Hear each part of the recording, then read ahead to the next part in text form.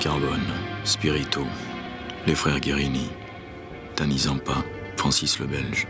Des voyous, des truands, des mauvais garçons, ceux que les flics appellent des beaux mecs.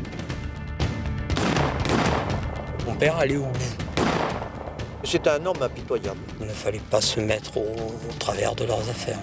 Existe-t-il encore un véritable milieu marseillais Qui, aujourd'hui, a pris la place tant convoitée du parrain? Les parrains de la côte, racontés par Olivier Marchal, c'est chaque mercredi de janvier autour de minuit sur France 3, Paris-Île-de-France bien sûr.